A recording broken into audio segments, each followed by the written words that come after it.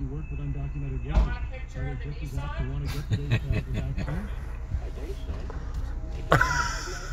Oh, did you get it?